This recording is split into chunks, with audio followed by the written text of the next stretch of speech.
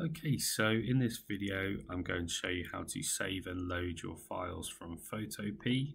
So Photopea doesn't save your files in the same way that um, Vector does. So um, I've just created a little test file here and I'm going to show you how to save it. So you just go to File, Save as PSD. It's important that you select the PSD file because that's the editable file that you can reload into uh, Photopea.